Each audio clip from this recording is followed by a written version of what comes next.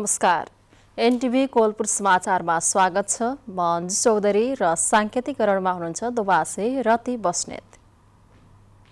मङ्सिर चार गते हुने प्रदेश र प्रतिनिधि सभा चुनावको तालिका निर्वाचन आयोगले जारी गरेसँगै दलहरूको चुनावी तालमेल र समावेशी प्रतिनिधित्वको विषयले चर्चा पाउन सुरु भएको छ भने दलहरूको तयारी पनि सुरु भएको छ। आजको समाचारमा चुनावी सरगर्मीसँगै कोरोनाको संक्रमण पनि बढ्ने संकेत देखिँदा खोप लगाउन सरकारले गरिरहेको आग्रहको विषय छ। त्यसबाहेक वन्यजन्तु पीडितका लागि लुम्बिनी प्रदेश सरकारले ल्याएको आकस्मिक राहतको कार्यक्रम अनि खेलकुद मन्त्री महेश्वर गहतराजले दाङको लमही क्रिकेट रङ्गशालाको निरीक्षण गर्नुभएको प्रसङ्ग पनि तर सुरुमा प्रमुख समाचार। आगामी मङ्सिर चार गते हुने प्रतिनिधि सभा र प्रदेशसभा सदस्य चुनावका लागि कार्यतालिका स्वीकृत असोज तेइस गते प्रत्यक्षतर्फको उम्मेद्वारी दर्ता हुने। कोरोना भाइरस विरुद्धको खोप लगाउन सरकारको पुनः आग्रह। खोप लगाएकाहरूमा गम्भीर समस्या नहुने आज संक्रमितको संख्या एक हजार नाग्यो। वन्यजन्तु पीडितका लागि लुम्बिनी प्रदेश सरकारद्वारा आकस्मिक राहत कार्यक्रम लागू पालिका स्तरमा जोखिम न्यूनीकरण र बिमा कार्यक्रम पनि लागू गरिँदै सबै रुसीहरूलाई पश्चिममा देशले यात्रा प्रतिबन्ध लगाउनु पर्ने युक्रेनी राष्ट्रपतिको भनाई रुसीहरूलाई सजाय दिने उत्तम उपायका रूपमा व्याख्या। र खेलकुद मन्त्रीद्वारा दाङको लम्ही क्रिकेट रङ्गशालाको निरीक्षण रङ्गशालालाई पश्चिम नेपालको महत्त्वपूर्ण खेल मैदानका रूपमा विकास गर्न सकिने भनाई।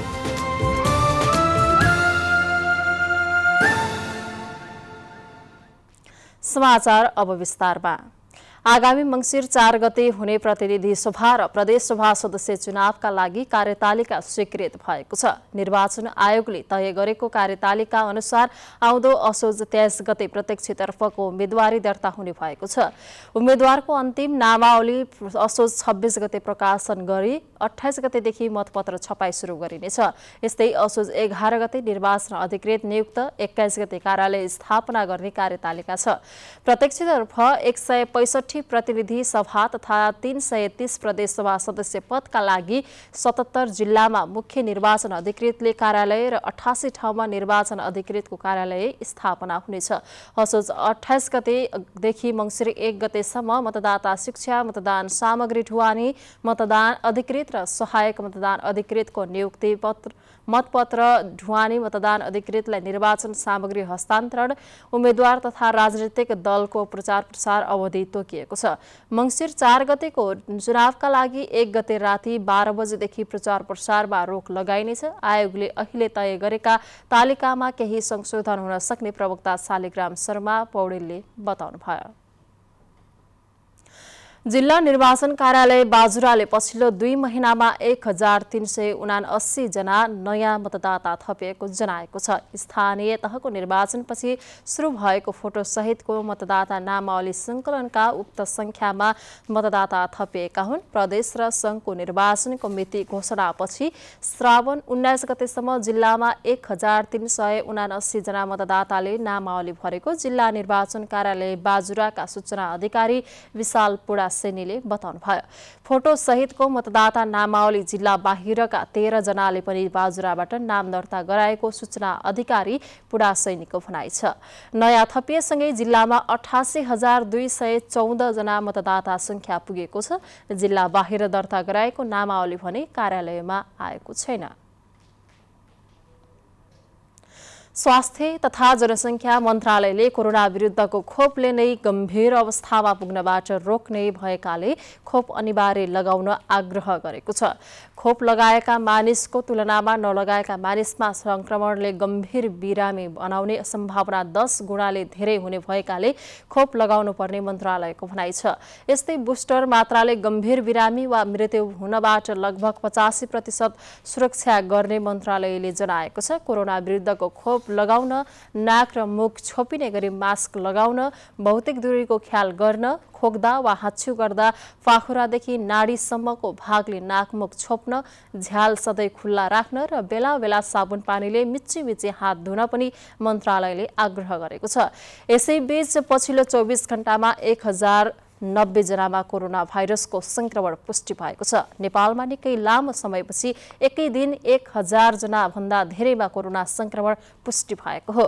यस्तै थप चार सय अडतिसजना संक्रमितहरू निको भएका छन्। सक्रिय संक्रमितको संख्या पाँच हजार आठ सय छजना पुगेको छ। पछिल्लो चौबिस घण्टामा दुईजना संक्रमितको मृत्यु समेत भएको छ।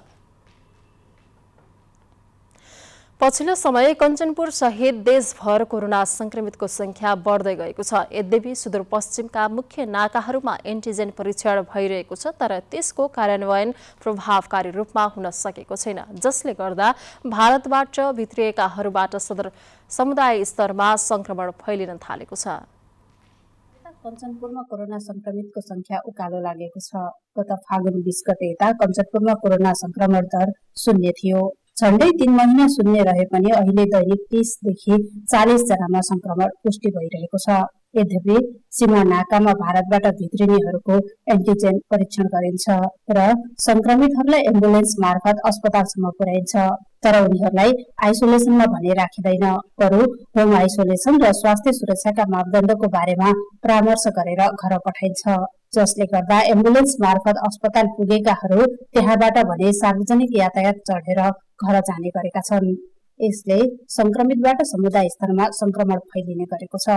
यता महाकाली प्रादेशिक अस्पताल विकास समितिका अध्यक्ष कृष्णानन्द भट्ट भने सरकारले महाकाली अस्पताललाई कोरोना अस्पताल घोषणा नगरेकाले संक्रमितलाई आइसोलेसनमा राख्न नसकिएको बताउनुहुन्छ। हामीलाई चाहिँ सरकारले चाहिँ कोभिड अस्पताल भनेर चाहिँ नछुट्याएको हुँदा हामी कोभिडको बिरामीलाई राख्ने आधिकारिकता चाहिँ हामीसँग छैन र किनभने कोभिडको बिरामीहरूलाई चाहिँ निशुल्क उपचार हुनुपर्दछ र हामीले राख्दाखेरि हामीसँग मेन पावर पनि नभएको र हामीले निशुल्क पनि उपचार गर्न सक्ने हामीसँग कानुनी आधार नभएको हुँदा हस्पिटलभित्र चाहिँ के अरे कोभिडको बिरामीहरूलाई राखेका छैनौँ। जिल्लामा कोरोना संक्रमितको संख्या बढ्दै गए पनि उनीहरूमा लक्षण नदेखिएकाले त्यसको प्रभावका आधारमा तयारी गरिने कञ्चनपुरका प्रमुख जिल्ला अधिकारी गोपाल प्रसाद अर्यालको भनाइ छ। अहिलेसम्म कोभिड पोजिटिभ टेस्टेड हुँदा हुँदै पनि सिभिरिटी चाहिँ कम्प्लिकेटेड देखिएको छैन। त्यस कारणले गर्दाखेरि हामी यो कोभिडको प्रभाव अरू ठाउँहरूमा कस्तो पर्छ हाम्रो जिल्लामा मात्रै नभएर अरू जिल्लाहरूमा र हाम्रो बोर्ड एरिया जोडिएको भारतमा पनि के कसरी चाहिँ अगाडि बढ्छ भन्ने कुरालाई पनि केयरफुल्ली चाहिँ वाच गर्ने काम गरिरहेका छौँ। स्वास्थ्य कार्यालय कञ्चनपुरका अनुसार असारमा कञ्चनपुरमा संक्रमितको संख्या चौतिस थियो। साउनमा भने गड्डाचौकी नाकामा दुई सय छब्बिस र जिल्लामा दुई सय चौवालिस जनामा संक्रमण पुष्टि भएको छ। तर मास्क सेनिटाइजर तथा स्वास्थ्य सुरक्षाका मापदण्ड पालनामा भने न आम नागरिक सजग देखिन्छन् न सरकारवालाले चासो देखाएका छन्। दुर्गा उपाध्याय नेपाल टेलिभिजन सुदूरपश्चिम प्रदेश कञ्चनपुर। कोरोना संक्रमितको संख्या लामो समयपछि आज एक हजार नागेको छ। संख्या बढेसँगै खोप अनिवार्य रूपमा लगाउन स्वास्थ्य मन्त्रालयले आग्रह समेत गरेको छ। खोपको म्याद गुज्रिएर खेर गएका विवरण पनि आइरहेका छन्। यही बीचमा खोप बारेको धारणा नागरिकहरूमा के छ त? हेरौँ। दाङका नागरिकहरूको धारणा आजको आवाजमा।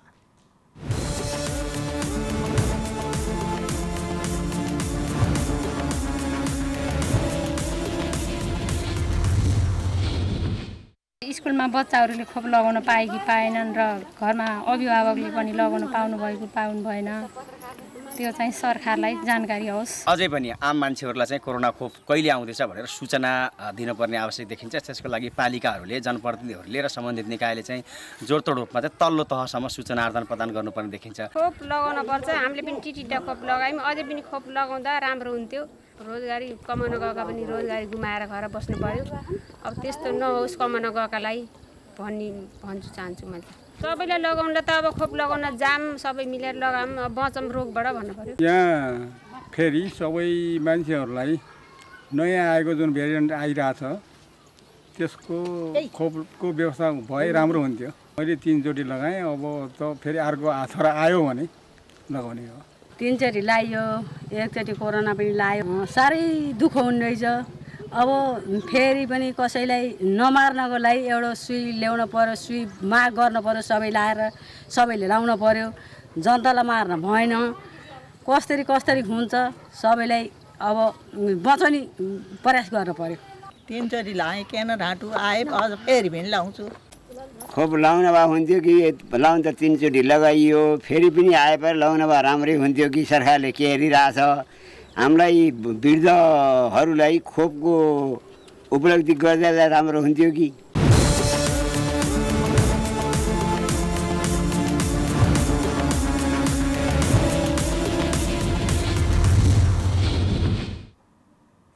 समाचारको क्रम जारी नै छ। अहिलेलाई एकैछिनको विश्राम।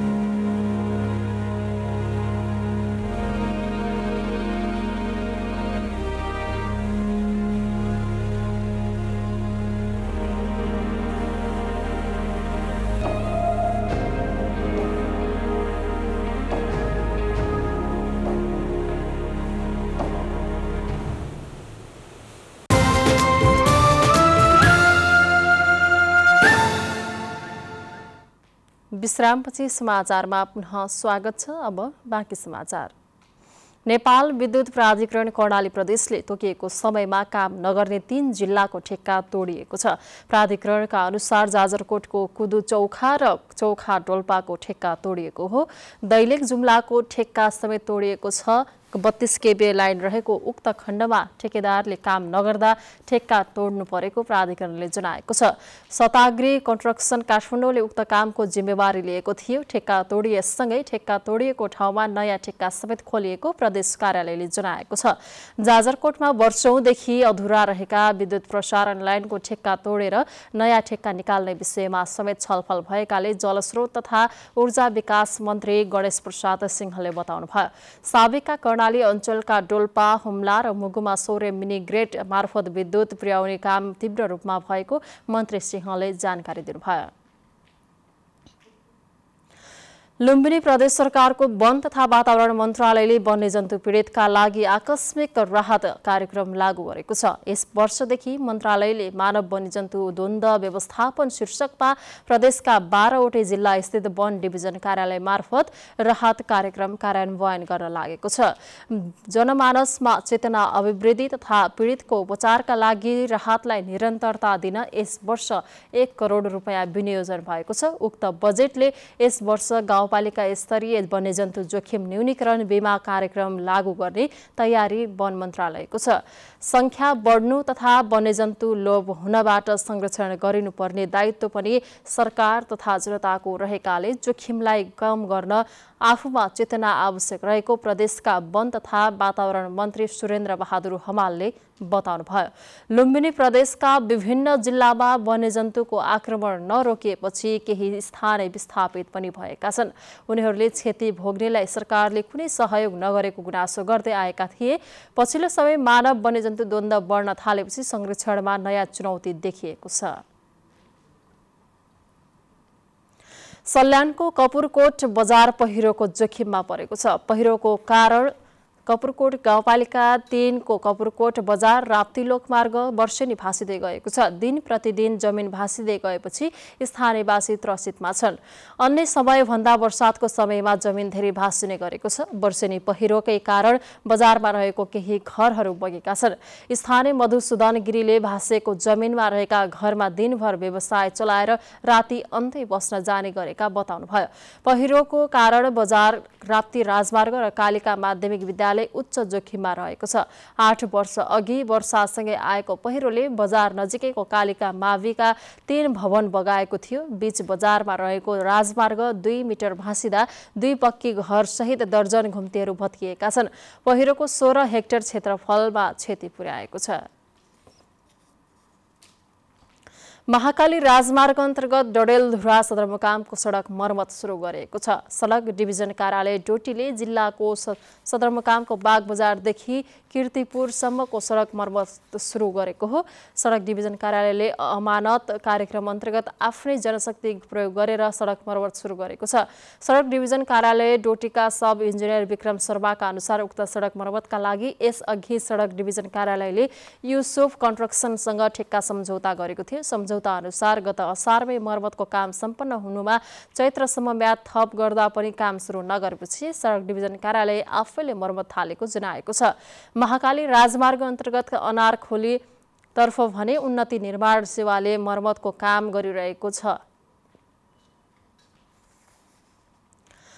आज सामुदायिक वन दिवस सुशासन र समृद्धि सामुदायिक वनमा उद्यम र उद्यमी भन्ने मूल नाराका साथ देशभरि विभिन्न कार्यक्रमको आयोजना गरी मनाइएको छ। जस अन्तर्गत बैतडीमा सामुदायिक वन दिवसको अवसर पारेर जिल्ला अस्पताल परिसरमा वृक्षारोपण गरिएको छ। यो जिल्ला अस्पताल बैतडीको नयाँ भवन आज सामुदायिक वन दिवसको अवसर पारेर जिल्ला अस्पताल बैतडी वरिपरि सामूहिक वृक्षारोपण गरिएको छ। जिल्ला वन कार्यालयले आयोजना गरेको वृक्षारोपण कार्यक्रममा जिल्ला स्थित सम्पूर्ण सरकारी तथा गैर सरकारी कार्यालयहरूको सहभागिता रहेको थियो। नयाँ बनेको अस्पताल भवन पछाडिको भिरालो जमिनमा करिब तीन सय बिरुवाहरू रोपिएका छन्। दिवस आज देशभरि मनाइँदैछ आज भोलि र पर्सि। यसै क्रममा चाहिँ आज हामीले यो बैतडी जिल्लामा चाहिँ आज अस्पताल परिसरको परिसरमा वृक्षारोपण कार्यक्रम आयोजना गऱ्यौँ। र यसमा चाहिँ हामीले धुपी होइन कल्की ज्याकरन्डा निम अमला आदि जातका बिरुवाहरू हामी लगाएका छौँ। र यो सम्पूर्ण चाहिँ जिल्ला स्थित सुरक्षा निकाय र कार्यालय प्रमुखहरू स्थानीय तह सामुदायिक वन सबैजना चाहिँ जम्मा भएर चाहिँ यो सहभागितामा वृक्षारोपण कार्यक्रम सम्पन्न गरेका छौँ। वन संरक्षण र वृक्षारोपणको सन्देश दिने उद्देश्य सहित आयोजना गरिएको सामूहिक वृक्षारोपणले जिल्ला अस्पताललाई समेत सकारात्मक प्रभाव पार्ने अस्पतालका व्यवस्थापक सुमन महराले बताउनुभयो। अस्पतालको पछाडि चाहिँ हाम्रो यो नयाँ बिल्डिङको यो पछाडि चाहिँ लाउनै पर्ने अवस्था थियो सर। भर्खरै यहाँ अस्पतालको माटोहरू सबै यहाँ तल थियो। त्यसलाई कन्ट्रोल गर्नलाई पनि हामीले यो अनि यो भिरालो भागहरूलाई पनि यो ल्यान्डस्लाइड ल्यान्डस्लाइड हुनबाट बचाउन पहिरोहरू जानेका ऊ पनि हुन्छ। त्यो बचाउनलाई पनि हामीले लाउनु पर्ने थियो। यसले चाहिँ हामीलाई धेरै फाइदा हुन्छ सर। जसरी यो यहीँ ऋणदेखि नै हाम्रो रुख बोर्डहरू छ यसले चाहिँ फाइदा नै हुन्छ। डिभिजन वन कार्यालयले यसअघि पनि जिल्लाका केही स्थानमा वृक्षारोपण गरेको थियो। तर वृक्षारोपण पछि रोपिएका बिरुवाहरूको संरक्षण नहुँदा वृक्षारोपण गरिएका ठाउँहरू हराभरा हुन भने सकेका छैनन्। त्यसकारण वृक्षारोपण गरिएका स्थानहरूको संरक्षण र बिरुवाहरूको स्याहार गर्न पनि उत्तिकै जरुरी छ। नरी बडु नेपाल टेलिभिजन सुदूरपश्चिम प्रदेश जिल्ला अस्पताल परिसर बैतडी। समाचार जारी नै छ। एकैछिनको विश्राम।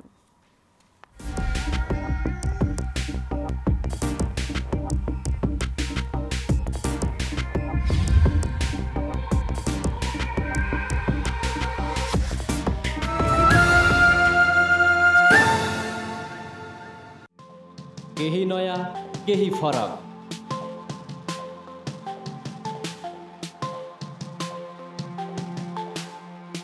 राष्ट्रिय सञ्चारको मेरुदण्ड। नेपाल टेलिभिजनको प्रादेशिक च्यानल। एनटिभी कोहलपुर। पश्चिम नेपालको लुम्बिनी कर्णाली र सुदूरपश्चिमको एकमुष्ट आवाज। सत्य समाचार तटस्थ विचार। कार्यक्रममा मौलिकता समावेशिता र विकासमा विस्तार। डिजिटल दुनियाँमा तपाईँको विचार र भावनालाई संसारसँग जोड्दै एनटिभी कोहलपुर। सूचना शिक्षा र मनोरञ्जनको यो यात्रा हो समृद्धिको।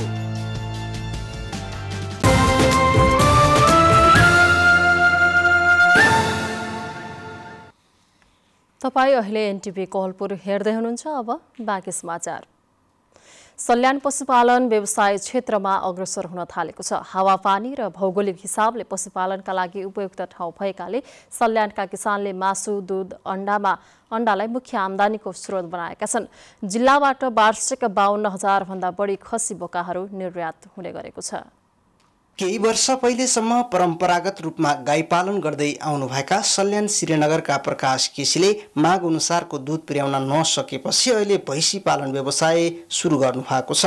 उहाँको आमदानीको मुख्य स्रोत भनेकै भैँसी पालन हो। यस्तै कपुरकोट गाउँपालिकाका सुजन केसीले पनि बाख्रा पालनबाट वार्षिक दस लाख आमदानी गर्दै आउनु भएको छ। लगानी अनुसारको प्रतिफल प्राप्त हुने गरेकाले यहाँका धेरै जसो किसान खेतीपाती लगाउन छोडेर बाख्रा भैँसी बङ्गुर कुखुरा माछा र कालिज पालन व्यवसायलाई बढुवा दिन थालेका छन्। अहिले बजारमा दुधको माग बढी भए हुनाले फेरि पनि अझ भैँसी थप गरेर पाल्ने योजना गरेको छु र यसबाट राम्रो आम्दानी छ। आजसम्म अब पहिले चाहिँ बिउ पाल्ने लक्ष्य भयो पहिले चाहिँ बिक्री गरेन हामीले अहिले चाहिँ यो वर्ष चाहिँ हामीले त्यही दस लाखसम्मको पशुपालन क्षेत्रमा राम्रो सम्भावना देखिएपछि सल्यानमा दुई वर्षदेखि एक पालिका एक पशुवस्तु उत्पादन कार्यक्रम सञ्चालनमा छ।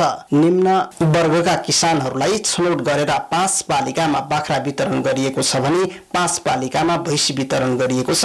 यस वर्ष मात्र दुई सय चौबिसवटा भैँसी र चार सय सडचालिसवटा बाख्रा वितरण गरिएको छ। यस्तै कुखुरा बङ्गुर र माछा पालन गर्ने किसानको संख्या पनि उत्तिकै छ। अहिले पछिल्लो चरणमा आएर गाई भैँसी पालनको लागि बाख्रा पालनको लागि कुखुरा पालनको लागि र अहिले बङ्गुर हाँस पालनको लागि एकदम आकर्षक भएर अगाडि बढिरहेको अवस्था छ। पचास हजार जति खसी बोकाहरू बाहिर जान्छन् भने बाह्रदेखि अठार मेट्रिक टन दुध पनि बाहिर निकासी भइरहेको अवस्था छ। सल्यानमा चार लाख भन्दा बढी बाख्राको संख्या छ भने चौहत्तर हजार भैँसीको संख्या रहेको छ। यस्तै वार्षिक दस लाख भन्दा बढी कुखुरा उत्पादन हुने गरेको छ। सल्यानका किसानले खसी बोका बिक्री गरेर वार्षिक पचास करोड रुपियाँ आमदानी गर्दै आएका छन्। यस्तै वार्षिक बाइस हजार छ सय मेट्रिक टन दुध उत्पादन हुने गरेको छ। प्रत्येक इच्छुक शर्मा नेपाल टेलिभिजनका लागि सल्यान। मुस्लिम धर्मावलम्बीहरूले शोकका रूपमा मनाउने मोहरम पर्व आज कपिलवस्तुका हिन्दू मुस्लिम एकसाथ मनाएका छन्। हिन्दू र मुस्लिम धर्मावलम्बीको साझा पर्वका रूपमा मोहरम पर्व स्थापित हुँदै गएको छ। मुस्लिम धर्मावलम्बीहरूको शोकका रूपमा मनाउने मोहर्रम पर्व आज कपिलवस्तुका हिन्दू मुस्लिम एकसाथ मनाएका छन्। हिन्दू र मुस्लिम धर्मावलम्बीको साझा पर्वका रूपमा मोहर्रम पर्व स्थापित हुँदै गएको हो। आफूले मागेका हरेक इच्छा चाहना पूरा भएपछि मोहर्रम पर्वको रौनक बढ्दै गएको छ। इस्लाम धर्मका प्रवर्तक हजरत मोहम्मदका छोरापट्टिका नाति हजरत हुसेन र उनका परिवारलाई इराकको कुफा र बसरा सहर बीचको कर्बलामा हत्या गरिएको दिनको स्मरण गर्दै मुस्लिम समुदायले मोहर्रमलाई शोक पर्वको रूपमा स्मरण गर्दछन्। इस्लामी पात्रो अनुसार हिजरी सम्बतको पहिलो महिनाको चाँदको एक तारिकदेखि सुरु हुने मोहर्रम पर्व दस तारिकसम्म मनाइन्छ। मुस्लिम धर्मावलम्बीले ईद बकरिद र मोहर्रमको दशमीलाई धुमधामका साथ मनाउने चलन रहिआएको छ। मुस्लिम समुदायको पर्व भए पनि यहाँका हिन्दू समुदायले पनि उत्तिकै महत्व र श्रद्धाका साथ यो पर्व मनाउने गर्छन्। आफूले भाकल इच्छा पूरा भएपछि मोहर्रम पर्वमा तहाजिया राखेर पूजा आजा गर्ने प्रचलन रहेको छ। पछिल्लो समय मोहर्रम पर्व सद्भावको पर्वको रूपमा स्थापित हुँदै गएको छ। कागजको तहाजिया बनाई ढोल तासा झाज बजाउने चलन रहेको छ। मोहर्रम पर्वका अवसरमा सदरमुकाम तौलियामा लगायत जिल्लाको कृष्णनगर बहादुरगञ्ज चन्द्रौटा पकडी लगायतका स्थानमा मुस्लिम र हिन्दू समुदायले बाँसको कागजबाट निर्माण गरिएको तहाजिया स्थापना गरी सो तहाजियालाई नजिकका आफ्नो कर्बलामा लगी विसर्जन गरेका छन्। तहाजिया विसर्जनका क्रममा सदरमुकाम तौलियामाका मुस्लिमहरूले तौलियामा बजारमा परिक्रमा गराई सागर टोलमा रहेको कर्बलामा लगी एक आपसमा शोक मनाउँदै मोहर्रम पर्व मनाएका हुन्। पछिल्लो वर्षहरूमा मुस्लिम समुदायका साथसाथै कपिलवस्तुका हिन्दू समुदायले पनि तहाजिया बाबा स्थापना गरी मुस्लिम समुदायसँगै मोहर्रम पर्व मनाउँदै आएका छन्। हिन्दू र मुस्लिम सँगसँगै मनाउँदै आएको यो पर्वले तराई मधेसमा धार्मिक सद्भावको रूपमा विकास हुँदै गएको छ। वासुदेव वर्मा नेपाल टेलिभिजन लुम्बिनी प्रदेश कपिलवस्तु अब अन्तर्राष्ट्रिय समाचार।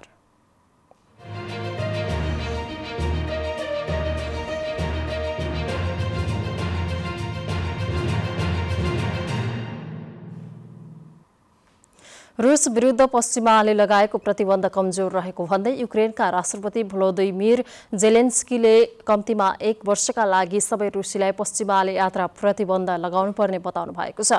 जेलेन्स्कीले सीमा बन्द गर्नु सबैभन्दा महत्त्वपूर्ण प्रतिबन्ध भएको बताउनु भएको हो। रुसीहरूलाई उनीहरूकै सीमामा बन्द गरेमा मात्र उनीहरूले आफ्नो दर्शनमा परिवर्तन ल्याउने जेलेन्स्कीको भनाइ छ। किएभमा राष्ट्रपति कार्यालयभित्र लिएको अन्तर्वार्तामा जेलेन्स्कीले सबै रुसीहरूलाई सजाय दिनु नै उत्तम उपाय हुने बताउनु भएको हो। सबै रुसीमाथि प्रतिबन्ध लगाए मात्र रुसका राष्ट्रपति भ्लादिमिर पुटिनलाई प्रभावित गर्न सकिने उहाँको भनाइ छ। अब आर्थिक समाचार।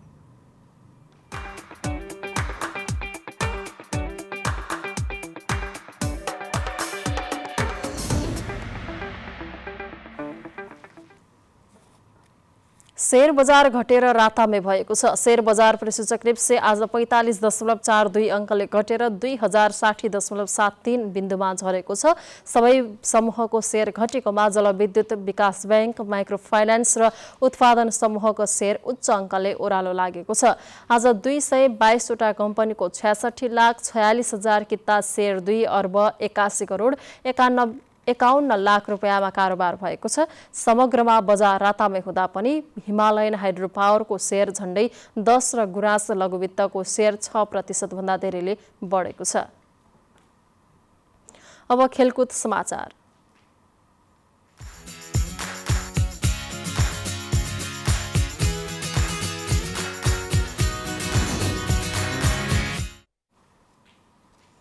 युवा तथा खेलकुद मन्त्री महेश्वर घतराज अथकले दाङको लमहीमा रहेको क्रिकेट मैदानको निरीक्षण गर्नुभएको छ। मन्त्री अथकले सोमबार निर्माणाधीन क्रिकेट रङ्गशालाको अवलोकन गर्नुभएको हो। अवलोकनका क्रममा मन्त्री अथकले रङ्गशालाको बाँकी काम छिट्टै पुरा गर्न आवश्यक बजेट विनियोजन गरिने बताउनुभयो। लमही क्रिकेट रङ्गशालालाई पश्चिम नेपालको महत्त्वपूर्ण खेल मैदानका रूपमा विकास गर्न सकिने बताउँदै मन्त्री अथकले पूर्वाधारका बाँकी कामको बारेमा समेत जानकारी जानकारी लिनुभएको थियो। आफूले उक्त मैदानलाई उच्च प्राथमिकताका साथ राखेर हेरिरहेकाले मन्त्रालयले आवश्यक बजेट विनियोजन गर्नेमा ठुक्क हुन मन्त्री अथकले आश्वासन दिनुभएको छ। आठौँ राष्ट्रिय प्रतियोगिता अन्तर्गत उक्त मैदानमा महिला क्रिकेट प्रतियोगिता सञ्चालन गरिएको थियो। आठौँ राष्ट्रिय प्रतियोगिताको दौरान रङ्गशालामा केही भौतिक पूर्वाधार निर्माण गरिए पनि प्याराफिट लगायतका संरचना निर्माणको काम अझै बाँकी छ। अब मौसम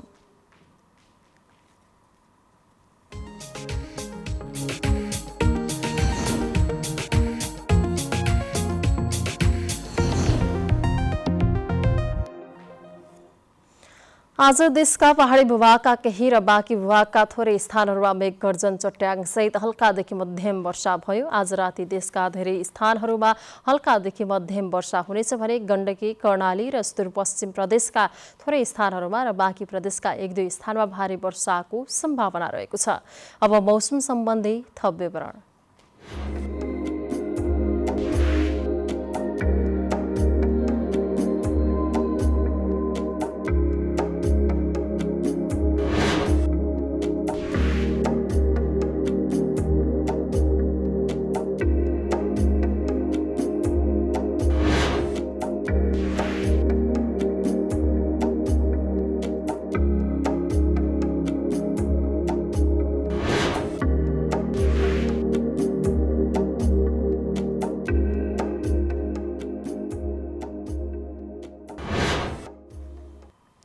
समाचारको अन्तिममा प्रमुख समाचार पुनः एकपटक। आगामी मङ्सिर चार गते हुने प्रतिनिधि सभा र प्रदेशसभा सदस्य चुनावका लागि कार्यतालिका स्वीकृत। असोज तेइस गते प्रत्यक्षतर्फको उम्मेदवारी दर्ता हुने। कोरोना भाइरस विरुद्धको खोप लगाउन सरकारको पुनः आग्रह। खोप लगाएकाहरूमा गम्भीर समस्या नहुने। आज संक्रमितको संख्या एक हजार नाग्यो। वन्यजन्तु पीडितका लागि लुम्बिनी प्रदेश सरकारद्वारा आकस्मिक राहत कार्यक्रम लागू। पालिका स्तरमा जोखिम न्यूनीकरण र बिमा कार्यक्रम पनि लागू गरिँदै सबै रुसीलाई पश्चिमामा देशले यात्रा प्रतिबन्ध लगाउनु पर्ने युक्रेनी राष्ट्रपतिको भनाई रुसीहरूलाई सजाय दिने उत्तम उपायका रूपमा व्याख्या। र खेलकुद मन्त्रीद्वारा दाङको लमही क्रिकेट रङ्गशालाको निरीक्षण। रङ्गशालालाई पश्चिम नेपालको महत्त्वपूर्ण खेल मैदानका रूपमा विकास गर्न सकिने भनाए